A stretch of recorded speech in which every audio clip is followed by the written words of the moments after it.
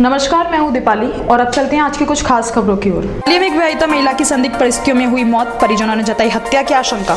महिला एवं बाल विकास मंत्री श्रीमती इमरती देवी ने जन समस्याओं को निराकरण के लिए जनता दरबार लगाया। मैरिज गार्डन से चोर सात लाख रुपए से अधिक का माल और नकदी से भरा बैग लेकर हुए चंपत। वाणिज्यकर मंत्री ब्रजेंद्र सिंह राठौर ने वाणिज्यकर अधिकारियों और आबकारी अधिकारियों के साथ बैठक की। अब समाचार विस्तार से। मुरैना शहर में प्री मानसून की दस्तक से जहाँ लोगों को गर्मी से राहत मिली, वहीं नगर निगम की लापरवाही के कारण आधे से ज़्यादा शहर जलमग्न हो गए। ज़िले में प्री मानसून ने दस्तक दे दी है। मुरैना में मानसून की दस्तक से लोगों को गर्मी से तो राहत मिल गई है, लेकिन नगर नियम की लापरवाही के कारण आधा से ज़्यादा शहर जलमग्न हो गया। हालात यह रही कि कई जगह घरों से बाहर लोग नहीं निकल पा रहे थे। लोगों के घरों में नाले का गंदा पानी अंदर तक पहुँच रहा था। पानी भर जाने से कई तरह की बीमारी फैलने का खतरा भी बना हुआ है। नगर निगम ने बारिश आने से पहले शहर में पानी, निकास, नालियों की सफ़ाई जैसे कामों पर ध्यान नहीं दिया, जिसका खामियाजा आम लोगों को भुगतना पड़ रहा है।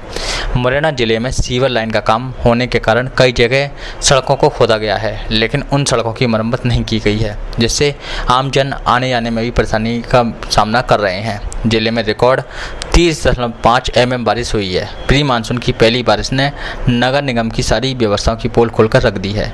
आगे आने वाले समय में यह हालात और भी बदतर होने वाले हैं। मामला ये है कि ये जो नाला पाटने की व्यवस्था थी जी। ये गत सरकार में शुरू हुई। और बड़े तेज़ी से काम हुआ ऐसा नहीं है। लेकिन जब से सरकार पलटी तब से इसमें इतना धीरापन इतना कम कम काम होना शुरू हुआ कि ये लोग जानते थे कि बरसात शुरू होगी और बरसात शुरू होते ही ये क्षेत्र नरक बन जाएगा। आज देख लीजिए पूरा क्षेत्र नरक के रूप में पानी भरा हुआ है। कहीं पानी उतरने की व्यवस्था नहीं है। इससे पहले गंदा पानी आ रहा था तब भी कोई चिंता नहीं थी नगर निगम प्रशासन को। न जिला प्रशासन को। और अभी भी कोई ज़्यादा अच्छा पानी नहीं आ रहा। हालाँकि व्यवस्था की है उनने लगे हैं लेकिन उसके बावजूद भी कोई अच्छा पानी नहीं आ रहा। आज तो ये है कि अभी मैं जब सभापति जी से अनिल गोयल जी से बात हुई तो उन्होंने कहा भाई साहब हमारा तो कमिश्नर ही छुट्टी लेके तीन दिन भाग गया। हमारी कोई सुनता ही नहीं है। जब सभापति की ये स्थिति है उस नगर निगम में तो आम जनता की क्या स्थिति होगी? नहीं समझ में नहीं आता है अभी आज पहली बारिश में और पहली बारिश है। पहली बार वो तो स्थिति है कि पहली सॉइल टेस्ट में ही खत्म हो गया मामला। टेस्टिंग में ही खत्म हो गया ये मामला। तो कि का, क्या कारगर होगा ये ना, नाला? हमारी तो समझ में नहीं आता कि, कि इससे कोई लाभ होगी जनता को। लेकिन जिस अवधारणा से सरकार ने किया था कहीं ने उस उस अवधारणा पर सही खरी नहीं उतर रही सरकार। ये तो बहुत अच्छी बात है कि बरसात मानसून आ चुके हैं। रात का समय तो रात तो लोगों ने महसूस करी है। लेकिन आप देख रहे हैं कि आम आदमी घरों में कैद हो चुका है। हमारे घर के इस गेट से अगर हम पैर नीचे रखें तो दलदल में कीचड़ में गिरेंगे। बच्चों को आने जाने में बुज़ुर्गों को महिलाओं को यहाँ से काफ़ी सब दिक्कतें आ रही हैं पूरे बाढ़वासियों को। और ये शहर में पूरा वातावरण बना हुआ है। इसके लिए किसको आप दोषी माने हुए? अब दोषी तो ये है कि जिसकी ज़िम्मेदारी बनती है। नगर निगम अमला जो है अगर मानसून आने से पहले, और मैंने अपील भी करी थी पहले, निवेदन भी किया था कि मानसून आने से पहले वो ज़िम्मेदारी ले और साफ़ सफ़ाई की व्यवस्था को करे, जिससे जो गंदगी और ये पानी भराव नहीं रहे। बरसात के पहले जो नाले नालियाँ हैं, उनकी सफ़ाई के लिए हमारा स्वास्थ्य विभाग काम कर रहा है। और जहाँ तक बड़े नालों की बात है, बड़े नालों में खासकर नालों में खड़ी निर्माण हो रहा है उसमें अभी काम बीच में बंद हो गया था, अपने लोकसभा निर्वाचन के दौरान।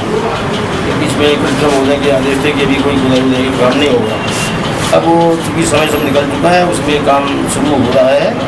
पानी भराव के स्थलों का हम लोगों ने अपने जिलों के माध्यम से चिन्हांकन करा लिया है और उसमें काम हम लोग एक सप्ताह के भीतर पूरा कर लेंगे सीवर खुलने के कारण शहर में कहीं भी आवागमन लोगों का नहीं हो पा रहा है सुगमता से तो क्या इसके लिए क्या कदम उठाएँगे सीवर का तो एक टाइम बाउंड प्रोग्राम का प्रोजेक्ट है उसमें अभी वर्क तो ऑनगोइंग है।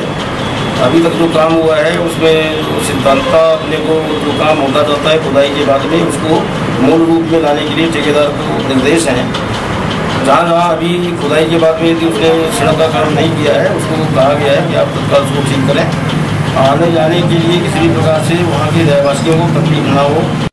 सीहोर ज़िले के मानपुर थाना इलाके के जादेश्वर गाँव में एक युवती के साथ दुष्कर्म करने और दुष्कर्म का वीडियो वायरल करने के मामला सामने आया है। पुलिस ने इस मामले में एक आरोपी को गिरफ़्तार कर लिया है। श्योपुर के जाबदेश्वर गाँव में दो युवक में से एक युवक ने गाँव के एक बीस साल की युवती के साथ दुष्कर्म किया तो वहीं दुष्कर्म करने वाले आरोपी के दोस्त ने युवती के साथ किए गए दुष्कर्म का एक वीडियो बना लिया और वीडियो वायरल करने की धमकी के साथ दुष्कर्म करने वाला कमल शर्मा पंद्रह दिनों से युवती के साथ ज़बरदस्ती भी करता रहा। तो वहीं दूसरी ओर दुष्कर्म का वीडियो बनाने वाला आरोपी का दोस्त भी पीड़िता को वीडियो वायरल करने की धमकी देकर ब्लैकमेल करते हुए उसके साथ भी जबर जबरन संबंध बनाने वाले जबरन संबंध और उससे अपने घर बुलाने का दबाव भी बनाते रहे। युवती ने जब इस बात के लिए मना किया तो युवक ने दुष्कर्म का वीडियो सोशल मीडिया में वायरल कर दिया। जब पूरे गाँव में वीडियो वायरल हो गया, तब युवती के परिजनों को इस बारे में पता चला। तब जाकर युवती ने सारी घटना परिजनों को बताई। इसके बाद युवती के, युवती ने परिजनों के साथ थाने पहुंचकर मामले की शिकायत की। पुलिस ने बताया कि इसके बाद युवती ने परिजनों के साथ साथ पहुंचकर मामले की शिकायत की। पुलिस ने युवती की शिकायत पर दो आरोपियों को, दो आरोपियों में से मुख्य आरोपी कमल शर्मा की रिपोर्ट कर, रिपोर्ट कराने के 12 घंटे भीतर ही गिरफ़्तार कर लिया है। तो वहीं दूसरा आरोपी गिरिराज शर्मा अभी फरार है। देखिए जावदेश्वर गाँव हमारे थाना मानपुर के तहत आता है जहाँ का ये मामला हमारे प्रकाश में अभी आया है। इसमें दो आरोपियों के नाम मुख्य तौर पर हमारे सामने आए हैं, जिनमें मुख्य आरोपी कमल शर्मा और उसका सहयोगी जो वीडियो बना रहा था, उसका नाम गिरिराज शर्मा है। कमल शर्मा सवाई माधोपुर का निवासी है और गिरिराज शर्मा जावदेश्वर का ही रहने वाला है।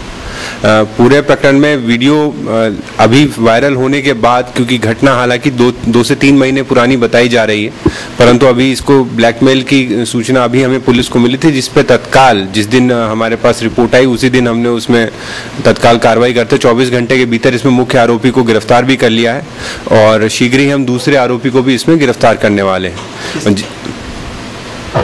हाँ कमल शर्मा जो है इसमें मुख्य आरोपी उसको हम लोग गिरफ़्तार कर चुके हैं इसमें अभी तक। किस तरीके से क्या ये ब्लैकमेल करते थे? कैसे क्या वीडियो बनाया साथी था जो रेप करता था? हम्म। देखिए कुछ ऐसी बातचीत भी सामने आ रही है कि पहले से युवक और युवती का परिचय था उसी परिचय का फ़ायदा उठा के इस घटना को इस युवक ने अंजाम दिया है और इस वीडियो का इस्तेमाल मुख्य तौर पे उसे ब्लैकमेल करके या अन्य अपने मित्रों का भी गलत फ़ायदा उठाने के प्रयोजन से कहीं ना कहीं इसमें दिखाई दे रहा है और इसमें जो बाकी तथ्य हैं, क्योंकि अभी प्रकरण गंभीर किस्म का है, एक आरोपी अभी भी फरार है, जिसे हम तत्काल गिरफ़्तार करेंगे। दोनों आरोपियों की गिरफ्तारी के बाद इसमें स्थिति और आपके सामने स्पष्ट रूप से सामने आ जाएगी। इसमें ती, हमने धारा तीन सौ छिहत्तर पाँच सौ नौ और सड़सठ आई टी एक्ट के तहत इसमें प्रकरण हमने दर्ज किया है। शहीद अमरचंद भाटिया की स्मृति के कार्यक्रम का आयोजन शहीद अमरचंद भाटिया स्मारक समिति द्वारा किया गया जिसमें वक्ताओं ने अपनी बात रखी। वही हमको सिखाया इसलिए उसको कहा गया था कि अभी अपनी बातों को पूरी करो। इसलिए अमरचंद भाटिया जी का जो बलिदान हुआ, वो राष्ट्र के प्रति समर्पित था और राष्ट्र ने कि हम सब राष्ट्र के प्रति, धर्म के प्रति और अपनी संस्कृति के प्रति हमेशा सदैव जागृत रहे। इन्हीं शब्दों के साथ में अमर चंद भाटिया जी के श्री चरणों आदरणीय विधायक घनश्याम फिरोनिया जी, हमारे बीच पधार चुके हैं। आए और मंच अपना स्थान ग्रहण करें। आदरणीय किटकरिया जी आए।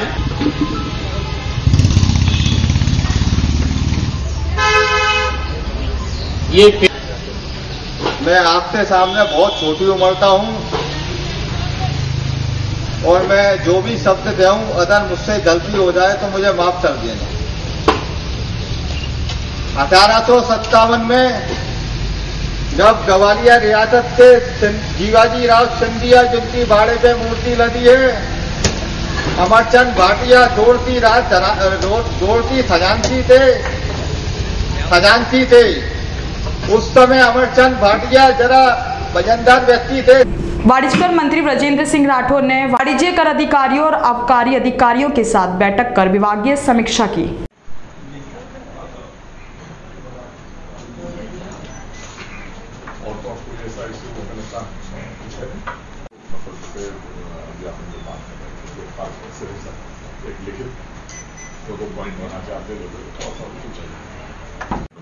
कई बार वो ये बनाने वाले भी कई जगह होते हैं देसी लोग कई गाँव में उतारने लगते हैं। वो भी थोड़ा सा निगाह रखें।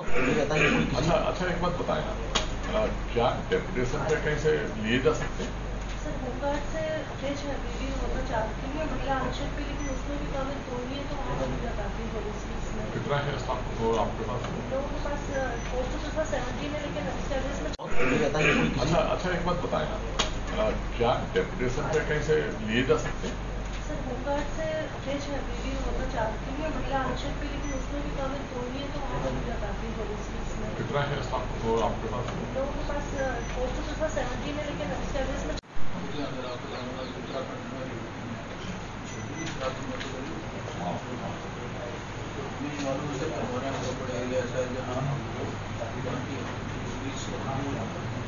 ऐसी पॉसिबिलिटी को दूर करने के लिए भी ज़रूरी है कि सरकार अपने संसाधन जो मिल रहा है वो ग्वालियर में शादी में मेहमान बनकर आए चोर फिर वारदात कर गायब हो गए और उनकी हरकत भी मैरिज गार्डन से बाहर निकलने के बाद ही पकड़ में आई। चोर सात लाख रुपए से अधिक का माल और नकदी से भरा बैग लेकर चंपत हो गए। दरअसल एक पंजाबी परिवार की बारात दिल्ली से आई हुई थी और झांसी रोड इलाके के बीनस वेंकट मैरिज गार्डन में शादी का कार्यक्रम चल रहा था। दूल्हा और दुल्हन का परिवार शादी की रस्मों को पूरा करने में व्यस्त था। इसी दौरान एक नाबालिग लड़का भी मेहमानों के बीच आकर घूमने लगा। उस पर किसी ने ध्यान नहीं दिया। चोर मैरिज गार्डन में घूमते हुए उस जगह आ गया जहाँ दूल्हे की माँ मेहमानों के बीच जेवर पैसों से भरे पर्स के साथ बैठी थी। जैसे ही दूल्हे की माँ ने पर्स टेबल पर रखा उसी समय नाबालिग चोर ने नज़र बचाकर पर्स को पार कर दिया और आराम से टहलता हुआ मैरिज गार्डन के बाहर निकल गया। सचिन कपूर। एक एक मिनट भाई एक मिनट। बटन चल कर ऊपर का बटन। क्या नाम है भाई साहब का? सचिन कपूर। सचिन जी बताए क्या पूरा मामला है? बस सर हम शादी में गए थे अपने मित्र की बच्ची की। तो उनके शादी में समारोह में पर्स उनका था लड़के की माता जी का। उनका पर्स चोरी हो गया। एक लड़का था उसमें करीब सात लाख कैश सात लाख कैश थे साढ़े पाँच तोला ज्वेलरी थी। और दो सैमसंग के मोबाइल थे वो सब चले। पार्टी थी और क्या ये पूरा मामला ये सर दिल्ली से आई थी बारात। और ये बैंक्यूट है वीनस बैंक्यूट हॉल वहाँ पे शादी समारोह था दिन का. लगभग साढ़े पाँच बजे के आसपास ये घटना हुई है. चार से पाँच। लगभग कितने रुपए का माल गया है वहाँ से। सर साढ़े सात लाख कैश है और पाँच लाख तोला कैश हो तो तोले। आप आइडिया लगा लो दस दस दस लाख के आसपास। दस लाख। के आसपास। टोटल दस लाख। के आसपास कैसे क्या घटना हुई थी? बस कुछ नहीं एक लड़का था। सीसीटीवी कैमरे सीसीटीवी सीसी फुटेज में भी वो लड़का आया है। पुलिस को हमने रिपोर्ट भी लिखाई है एफआईआर दर्ज करा दी है। करीब 20 साल का लड़का होगा 20 से 18 साल का लड़का। मामला क्या था? कैसे हुआ है जी? सर शादी समारोह चल रहा था। हमें लग रहा था कि वो वेटर वेटर है कोई काम कर रहा है अगल बगल बैठा है। पर्स में ये सामान रखा हुआ था क्या नाम है सुखविंदर कौर जी हैं जो दिल्ली की रहने वाली हैं। उनके पर्स में ये सामान सारा रखा हुआ है बाटा की घटना है बाटे वीनस उसमें कोई सीसीटीवी विजुअल भी दिखाई दिए सर सीसीटीवी है सब कुछ दिखाया है। आप कौन है उनकी? हमें मैं मेरे मेरे मित्र की लड़की की शादी थी इनकी बच्ची की शादी थी हरपाल जी की हरपाल सिंह जी की। जी जी। उनकी बच्ची की शादी थी। आपने रिपोर्ट लिखवा दी? हाँ एफ़ आई आर दर्ज करा दी है। लगभग कितने दिन टोटल क्या हुआ है था वहाँ पर? हो गया कुछ देर बाद जब दूल्हे की माँ को पर्स की याद आई तब वह गायब मिला जिसके बाद शादी में हंगामा मच गया। और इसकी सूचना पुलिस को दी गई। मौके पर पहुँची पुलिस ने प्रारंभिक जाँच में मैरिज गार्डन के सीसीटीवी की फुटेज को कंगाला जिसमें एक बच्चा पर्स को तमाम लोगों की नज़र से बचाकर चुराता नज़र आ रहा है और उसे कंधे पर टांग कर गेट के बाहर निकलता दिखाई दे रहा है। उसके साथ एक और युवक भी शादी समारोह में बातें करता दिख रहा है। ज़ाहिर है कि युवक के सारे पर ही बच्चे ने पर्स चुराया है। हालाँकि पुलिस ने मामला दर्ज कर लिया है, चोरों की तलाश में जुट गई है। इसी मैरिज गार्डन में चोरी की यह दूसरी वारदात बताई गई है। इससे पहले भी चोर शादी में मेहमान बनकर घुसा था और गायब होकर मौजूद लोगों की नज़र बचाकर बैंक बैग छुड़ाकर गायब हो गया था। हालाँकि इस तरह की वारदात शहर में कोई पहली नई नहीं है, लेकिन मैरिज गार्डनों के लिए मोटी रकम लेकर भी सुरक्षा के पुख्ता इंतज़ाम नहीं किए जाते। ऐसे में मैरिज गार्डनों पर सुरक्षा के सवाल खड़े हो गए हैं। मामला किसने चोरी हुई है? विक्की फैक्ट्री पे वेंकट बीनस गार्ड वो गार्डन है।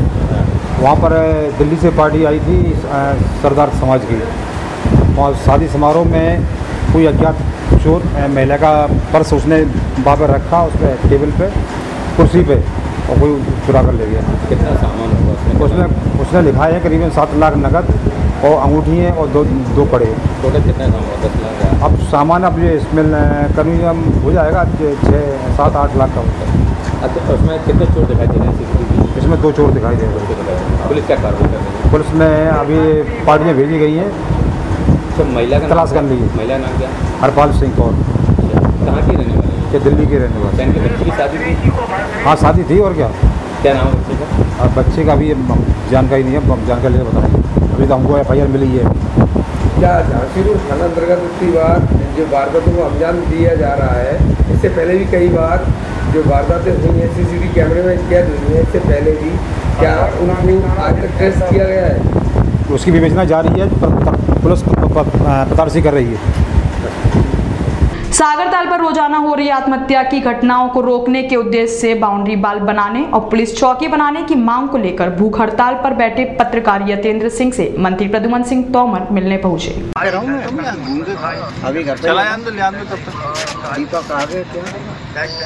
तो कोई गाड़ी ले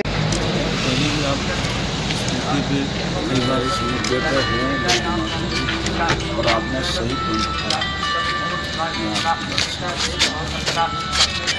यहाँ बड़ापुर पुलिस का कौन है। सर। अच्छा जी कहाँ है। सर गुना पे यहाँ पे रात को जिम्मेदार आदमी रहते हैं बराबर गश्त नहीं रहती है। गश्त नहीं अभी बात करो पॉइंट लगा दो। अभी रात को। पॉइंट कोई नहीं रहता अभी आइए। जी सर। दादा ये सगरताल पर जो व्यवस्था हो रही है बुकुताल बैठे हैं क्या कहना है आपका इसके? मेरे जो हमारे सम्मानित साथी कुर्ताल में बैठे हैं ठीक। अ, मैं जहाँ पे जो दुर्घटनाएँ हो रही हैं जी जी। निश्चित रूप से मैं कल प्रशासन के साथ बात करके इनकी मांग का समाधान करेंगे हम लोग। और अभी मुझे मालूम पड़ा तो यहाँ पे मैं सागरताल चौराहे पे आया। इनका हालचाल लेने आया और इनकी बात सुन करके प्रशासनिक अधिकारियों को बुलाकर चर्चा कर। लगातार एक महीने में लगातार आत्महत्या केस आ रहे हैं। शासनिक प्रशासनिक कोई कार्रवाई नहीं हो रही है मैं मैंने आपने मुझे संज्ञान में ये आया है इस पर ज़रूर कार्रवाई हम करें। इसी बीच अगर जो भूताल बैठे हैं, कुछ हो जाता है तो फिर जिम्मेदार कौन रहेगा और किस तरह से कार्रवाई देखिए मैंने कहा मुझे संज्ञान में जैसे ही आया है मैं तुरंत यहाँ खुद आया हूँ और हमारा कल मैं अधिकारियों से बात करके पूरी टीम आएगी और चर्चा करेगी और इनकी बातों का समाधान करेगी क्या इनका ये कदम बिल्कुल सही है जन जन जन सेवक के रूप में कैसे भी? देखिए बात हर आदमी जो बात रखी है उन्होंने और निश्चित रूप से जो यहाँ आए दिन दुर्घटनाएँ होती हैं, वो दुर्घटनाएँ न हों, इसकी व्यवस्था हम सबको करनी चाहिए। मैं उनकी जो मांग है और एक अच्छी आवाज़ उन्होंने उठाई है। जैसे कि माना जाए कि इसमें जैसे कि सुरक्षा के तौर पर ऐसे कुछ इसमें ट्यूब वगैरह, कुछ तेज रोशनी और कुछ गोताखोरों की व्यवस्था होनी चाहिए। देखिए मैंने आपसे क्या कहा कि अभी ये पूरा इन्होंने जो संज्ञान में लाए मैं अधिकारियों को बुला के चर्चा करूँगा। ठीक। बात करूँ। ठीक ठीक। ग्वालियर में अपराधियों के हौसले बुलंद होते जा रहे हैं और उनमें पुलिस का डर भी खत्म होता दिख रहा है। ताज़ा मामला सीताराम कॉलोनी का है जहाँ सरपंच के बेटे सतीश पर बदमाशों ने ताबड़तोड़ फायरिंग कर दी जिसके बाद घायल युवक को अस्पताल में भर्ती कराया गया जहाँ उसकी हालत नाजुक बनी हुई है। दरअसल सीताराम कॉलोनी में दोपहर के समय अपने घर के बाहर खड़े सतीश गुर्जर का विवाह शताब्दीपुरम में रहने वाले लखन शर्मा और उसके दोस्तों से हो गया है। विवाद इतना बढ़ गया कि लखन शर्मा ने अपने दोस्तों को बुला लिया और बाइक सवार युवकों ने पहले तो सतीश गुर्जर के साथ मारपीट की। फिर लखन शर्मा ने रिवॉल्वर से तीन गोलियाँ चलाईं जो सतीश गुर्जर के पेट में लगी और बदमाश फरार हो गए। स्थानीय लोगों के अनुसार चार से पाँच बदमाश बाइक से आए थे। फ़िलहाल विवाद की वजह पता नहीं चल सकी है। कोलेकाबंदी थाना पुलिस पूरे मामले की जाँच में जुटी हुई है। पुलिस भी यह पताने का लगाने का प्रयास कर रही है कि कहीं सरपंच के बेटों को राजनीतिक लड़ाई के चलते गोली तो नहीं मारी गई। क्या यह तो पुलिस जाँच के बाद ही स्पष्ट हो पाएगा। और कौन थे साथ में? पाँच छः औरतें एक डंडो दिया था लड़का। ठीक है। और तीन चार और एक एक्टिवा दो मोटरसाइकिल। दो के नाम बताओ नाम नहीं दो के नाम बताएँगे। किस जगह घटना। गोले मंदिर के घर के बाहर। घर के बाहर सांची के वो सामने पालक सामने। किस कारणवश अ, इनने गोलियाँ मारी हैं आपके वहाँ गाली कर रहे थे खड़े होकर मामा ने रोका सीधी। पिस्टल से पिस्टल से। तो ये मामा का घर कहाँ पर के वहीं घर के बाहर ही खड़े थे जस्ट बगल, से घर था। तो नहीं है नहीं? वो जानती नहीं है। आपके मामा की माँ क्या करती है? कौन की? आपके मामा की माँ को घरेलू। है। सरपंच वगैरह? हाँ सर मुझे नहीं पता मुझे आपका नाम? दीपू दुबे। कैसी हालत है आपकी मामा की? अब तो अभी डॉक्टर बताएँगे क्या कितने फाइव की होंगे लगभग उनमें? शायद चार। चार फाइव। कितनी गोली लगी मामा एक। निवासी घरोंगी गुर्जर हैं जो सीताराम कॉलोनी में रहते हैं। वहाँ कुछ लड़कों में वाद विवाद हुआ। तो जो लाखन लाखन शर्मा है धमसा का अभी शताब्दीपुरम में रहता है। अ, उसने अपनी रिवाल्वर पिस्टल से गोली मारी जो उनके पेट में लगी है। दूसरा उनके साथ में बता रहे थे कि वो शेरू डंडोतिया है। वो भी शताब्दी यहाँ सीपी कॉलोनी में रहता है। सर किस जगह की घटना है ये सीता सीताराम कॉलोनी। कितने आरोपी आए थे? जी दो तो ज्ञात हैं। कुछ दो तीन अज्ञात बोल रहा है। हाँ तो दो तीन अज्ञात बोल रहे हैं अब नाम नहीं आता ड्राइवर पुरानी रंजिश क्या पुरानी कोई रंजिश नहीं अकस्मात ही हुआ है जो भी तीन खोखा मिले हैं स्पॉट पे। और उनको आरोपी में पकड़ने के लिए अपने तरफ़ से भिजवाइए अभी। है? वो देखेंगे ना अभी तो भाई। अभी तो तत्काल इधर चले आए हैं। है जी? क्या नाम है घायल का नाम क्या? घायल का नाम बताया ना मैंने। सतीश। सतीश उर्फ़ कैया। गुर्जर निवासी घरोंगी। क्या करते हैं? माँ सरपंच आप माँ या कोई सरपंच है? हाँ सरपंच है। हाँ सरपंच हैं हाँ। राजनीतिक लोग हैं। क्या कार्रवाई की जा रही है द्वारा? तीन सौ सात का अभी तो प्रकरण काम किया गया है। मरणासन कथन भी के लिए अपने तहसीलदार साहब को बुलाया हुआ है। और आगे कार्रवाई तत्काल की जा रही है पूरी। ग्वालियर में एक विवाहिता महिला की संदिग्ध परिस्थितियों में मौत हो गई। दरअसल शब्द प्रताप आश्रम के पास रहने वाली कुशवा परिवार की बेटी कविता कुशवा की लाश घर में पड़ी मिली। वह तीन साल से मायके में रह रही थी। ग्वालियर में एक विवाहित महिला की संदिग्ध परिस्थितियों में मौत हो गई। दरअसल शब्द प्रताप आश्रम के पास रहने वाले कुशवा परिवार की बेटी कविता कुशवा की लाश सुबह के समय घर के कमरे में मिली। वह तीन साल से अपने मायके में रह रही थी। घटना की जानकारी पुलिस को लगी। तुरंत बोड़ापुर पुलिस मौके पर पहुँच गई। परिजनों का आरोप है कि कविता कुशवा के ससुराल पक्ष द्वारा उस पर जादू टोन तांत्रिक क्रिया करवाया करते थे, जिसकी वजह से वह डिप्रेशन का शिकार हो गई। पुलिस का कहना है कि कविता की मौत किस वजह से हुई, इसका पता जाँच पोस्टमार्टम के बाद ही चल पाएगा, लेकिन मृतका कविता के परिजन ने जो आरोप लगाए हैं उसकी भी जाँच कराई जाएगी। क्या नाम है आपका? लक्ष्मी। लक्ष्मी क्या हुआ आपकी बच्ची? मेरी बच्ची दिन भर से अच्छी थी खूब काम कर रही थी घर में। धंधे करेगी क्या कहते हैं? बस शाम को लड़की देखने गए हम लड़के के लिए। भाभी खूब बढ़िया गई अपने बच्चों को तैयार करके ले गई। और खुद भी गई तैयार होके। दिन भर से कह रही आज मैं बहुत खुश हूँ। भैया की सगाई हो रही है। और आपके बेटे का? इसकी लड़की देखने गए अपने बेटे की लड़, बेटे के लिए लड़की देखने गए थे। क्या नाम है? मोनू। क्या क्या कहते हैं लड़की देख के आए रात को दस साढ़े दस बजे। आए चेंज किया उसने। बच्चों का भी चेंज किया। और बस कूलर के आगे बैठी के थोड़ी हवा ले लूँ। काफ़ी दूर बैठी थी कूलर से तो बीच कमरे में। एकदम है ना एकदम क्या कहते हैं उसको है ना ऐसा लगा हमको कि कोई को देख के जो है ना चिल्लाई है। पर आवाज़ नहीं निकल पाई मुँह से और है ना भई लुढ़क गई। हाँ। और हम यही देखते रहे कि अभी हमने कभी देखा ही नहीं है। कोई तो मरता हुआ हो क्या नाम था आपकी बच्ची का? कविता। कुछ उम्र कितनी होगी? उम्र अट्ठाईस। अच्छा आपके यहाँ पर कब से रही थी? शादी बताती है? हाँ तीन साल से मेरे पास ही रह रही थी। तीन साल तीन महीने हो गए थे उसको। पति कौन रख रहा है? विवाद करता था दारू पीता है ओक लगा के। भाभी से बात करता है भाभी की बात मानता है। भाभी को ही सारी कमाई देता है। है कैला रस कुशवा मोहल्ला। नहीं घटना का आश्रम। सप्त प्रताप आश्रम भूतेश्वर कॉलोनी। वहाँ की घटना हाँ। तो क्या लगता है कैसे मौत हुई आपकी? मेरे को तो ऐसा ही लगता है कि इन्होंने ही है ना कुछ भेजाया है। बार बार जो भेजाते थे हाँ तांत्रिक विद्या करवाते थे बार बार और बार बार मैं उसको ठीक कराती थी। तो उसके चलते हुई है हाँ। इनने ही है ना कुछ करवाया उधर से चैलेंज पे चैलेंज करते थे जी। कोर्ट में आते तारीख करने सियानों को लेके आते थे। हाँ। तो क्या लगता है तांत्रिक क्रिया के चलते आपकी बच्ची अब तक ही है जी हाँ ऐसा ही है। क्योंकि जी मेरे को बार बार चुनौती देते थे कि हम ले जाएँगे तब भी मार डालेंगे इसको। दिखाया नहीं?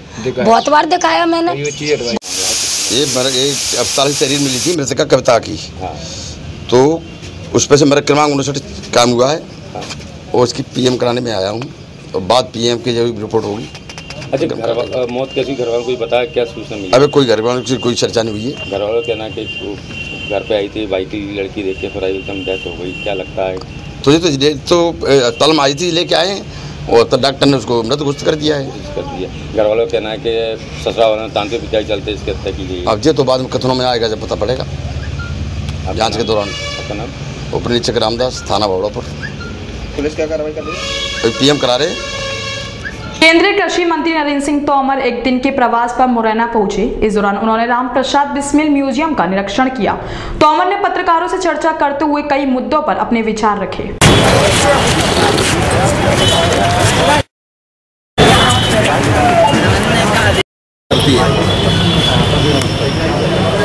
तीन तलाक से संबंधित अध्यादेश हम लोगों ने जारी किया था। पिछले बार लोकसभा में पास हुआ, राज्यसभा में पास नहीं हो सका। कल फिर नए सत्र की शुरुआत हुई तो बिल का इंट्रोडक्शन होना था। कुछ लोगों ने विरोध किया, मतदान हुआ। ज़्यादा मत सरकार के पक्ष में थे, इसलिए वो बिल इंट्रोड्यूस हो गया। तीन तलाक के बिल को न तो व्यक्ति से जोड़ना चाहिए, न धर्म से जोड़ना चाहिए, न मज़हब से जोड़ना चाहिए, न बिरादरी से जोड़ना चाहिए। तीन तलाक का बिल, नारी न्याय, नारी सम्मान और नारी के इंसाफ का बिल है। इसलिए इसको मानवीय दृष्टिकोण से लेना चाहिए। हमारी हज़ारों मुस्लिम बहनें देश भर में तीन तलाक से पीड़ित हैं उनका जीवन बर्बाद हो गया है। सरकार उनके जीवन को आबाद करने की दृष्टि से और आने वाले कल में किसी बहन के साथ इस प्रकार का अन्याय न हो यह सुनिश्चित इस बल के माध्यम से करना चाहिए। राज्यसभा में पास होने की क्या स्थिति? हम आशा करते हैं कि जब लोकसभा में पास होगा उसके बाद राज्यसभा में जाएगा तो राज्यसभा में भी इसे समर्थन लोग दें। ऐसी मैं सबसे अपील करना चाहूँगा। मध्य प्रदेश की सरकार में काफ़ी ऊहा पोह की स्थिति है। क्या सरकार गिर सकती है? मध्य प्रदेश की सरकार पूरी तरह फेल हो गई है। किसी भी सरकार को फेल होने में कम से कम ढाई साल का वक्त लगता है लेकिन यह सरकार चार पाँच महीने में ही असफलता के कगार पर खड़ी है। मध्य प्रदेश में कानून व्यवस्था की स्थिति पूरी तरह चौपट हो गई है और मध्य प्रदेश में विकास के काम सभी बंद कर दिए गए हैं। किसी भी अधोसंरचना के किसी भी काम का कोई पेमेंट नहीं किया जा रहा है। पूरे मध्य प्रदेश में अफरा तफरी है और कांग्रेस अंतर कलह से ग्रस्त है। कब सरकार रहेगी और कब गिरेगी, यह कहा नहीं जा सकता। महिला एवं बाल विकास मंत्री श्रीमती इमरती देवी ने जन समस्याओं के निराकरण के लिए जनता दरबार लगाया। इस दौरान कलेक्टर अनुराग चौधरी सहित वरिष्ठ प्रशासनिक अधिकारी मौजूद रहे। हमारे जो एसडीएम हैं उन्होंने एक बहुत एक अच्छा काम किया है कि यहाँ पे उन्होंने एक स्मार्ट क्लास को भी डेवलप किया बेसिकली हमने देखा होगा कि ये बात हमने जो ग्वालियर में गई वो यहाँ पे भी बोले हैं। स्टार्टिंग में हम लोगों की यही मंशा थी कि सरकारी स्कूलों की जो लोग आना नहीं चाहते हैं और केवल जो आदमी उतना साधन संपन्न नहीं वो नहीं आता। इसलिए आप देखते हो, हर बार आरटी में एडमिशन को लेकर भी फाइट होती है कि हमको इस स्कूल में जाना है, उसमें जाना है। तो सरकारी स्कूल में एक तो हमने इंफ्रास्ट्रक्चर अच्छा करके दिखाया है। हमने पूरे ज़िले में भी एक एक करके फिर और टेकअप करेंगे। तो आंगनवाड़ियों को भी टेकअप करेंगे। जैसे आपने देखा होगा ना, आंगनवाड़ियों में भी हम अभी क्या करते हैं, आंगनवाड़ी वो गया, तीन मील खा के आ गया। अब उतना नहीं करेंगे, आंगनवाड़ी हम प्ले स्कूल में मॉडर्न डेवलप करेंगे। जैसे होता है ना कि अच्छे कोई मतलब बच्चे को अच्छा ए बी सी डी सिखाए, जैसे अपने प्राइवेट होते हैं, जैसे किड्जी है उस तरह के जो होते हैं, अच्छे लेवल का आंगनवाड़ी को भी टेकअप करेंगे। और एक स्टार्ट भी है और बेसिकली एसी लगाना या टीवी लगाना ऐसा नहीं कि उससे स्मार्ट होता है। हमारे अमले को मेहनत करना पड़ेगा। लेकिन एटलीस्ट हम अपने अमले को भी हम इतना बता देना चाहते हैं कि हम आपके साथ खड़े हुए हैं। अब आपसे हम मेहनत भी करवाएँगे। सर क्या सर इसमें अधिकारी और बच्चों को प्रवेश दिलाएँगे क्या? नहीं नहीं इसमें हमारा मैं हमेशा ये बोलता हूँ ना कि हमारे यहाँ सबसे अच्छा सिस्टम ये रहता है कि हम इस इस स्कूल से अगले एक दो सालों में आईटी में सिलेक्शन करके दिखाएँ। कि हम अभी भी आप देखें जितने आई हैं सारे सरकारी हैं जितने आई से सारे सरकारी हैं इंडिया के जो सबसे अग्रणी एम्स है वो सरकारी है। मतलब जो चीज़ें सरकारी में सरकारी सिस्टम भी बेस्ट हो सकता है मैं ये बता रहा हूँ। और जो बेस्ट होता है उसमें हर आदमी एडमिशन कराएगा। मतलब हम खुद सरकारी स्कूल में पढ़े हैं मतलब आई नो दिस लेकिन जो मतलब हमारे यहाँ जो व्यवस्थाएँ अच्छी करते हैं हम उन व्यवस्थाओं को अच्छा करेंगे। और हम इसको क्वालिटी बेसिस पे होगा कि आदमी खुद आगे इसके लिए इसके लिए होड़ मचे कि साहब हमारा इस स्कूल में एडमिशन करा दो। इसलिए हम इसमें दसवीं और बारहवीं के रिज़ल्ट में हम आउटकम बेस पे जाएँगे। हम टीचर से ये नहीं कि आपने ये आपने पढ़ाया कितना है। आपके एटलीस्ट परसेंट बच्चों को वो गणित का सवाल सोल्व करना आया नहीं आया? है जब मैं इसके तो तभी आप देखते होंगे बेसिक बेसिक जो चीज़ें हैं गणित की है हिंदी की है अंग्रेज़ी की है वो आना होगा। एक बार लर्निंग आउटकम का माँ बाप जब पाएँगे बच्चे को सीख रहा है। अभी माँ बाप घर में जाते हैं उनको लर्निंग आउटकम पे हम फोकस करना चाहते हैं ये हमारा उद्देश्य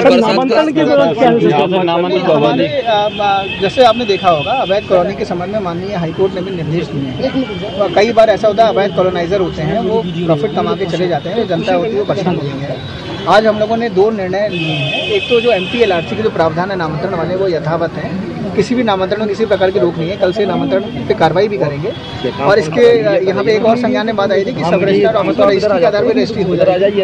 वो गलत है। दो तीन और कमियाँ। इसके अलावा जो अवैध कॉलोनाइजर हैं जिन लोगों ने बिना उत्तरदायित्व के बिना काम के किया है उनके विरुद्ध में एफ़ भी करेंगे। ज़रूरत हुआ उनके विरुद्ध में एनएसए और जिला बदर की कार्रवाई भी करेंगे। एक एक कॉलोनाइजर ने हज़ार हज़ार लोगों को फंसाया हुआ है। और वो लोग सब परेशान है उनकी पूरी ज़िंदगी की जमा पूंजी डूबी हुई है। दूसरा सर यही पे कार्रवाई की गई नीतीश सिंह की जो समस्या हमारे यहाँ पे इशू आया था कोऑर्डिनेशन के इश्यूज़ भी थे तो माननीय मंत्री जी के के द्वारा वहाँ पे एक दूसरे स- सहायक केंद्र की पदस्थापना कर दी गई। दूसरा सर यहाँ जो ने ज़मीन एक्वायर की है उसके हाँ आपका मैंने ये संज्ञान में लिया एस के भी संज्ञान में है। अगर भविष्य में होता है तो हम कार्रवाई करेंगे। कोई भी कोई भी व्यक्ति नगर पालिका में आ सकता है लेकिन कोई भी आदमी चूँकि आपके यहाँ परिषद भी भंग हो गई है किसी भी स्थिति में कोई भी आदमी जो अधिकृत नहीं है वो किसी भी कुर्सी पर नहीं ये थी अब तक की कुछ खास खबरें। अब होगी आपसे कल मुलाकात। तब तक लिए नमस्कार।